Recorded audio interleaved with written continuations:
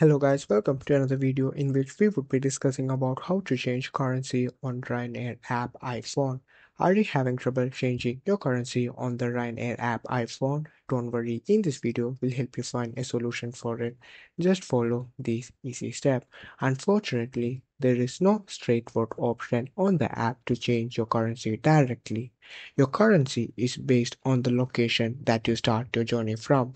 For example, if you're starting your journey from London, it will be in Great British Pounds. So, and if you choose Denmark, it will be the currency of Denmark. So, to change your currency, open Safari and go to Ryanair.com.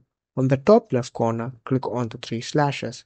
Now, click on Great Britain. Now, choose on all the types of currencies that you wish to continue from.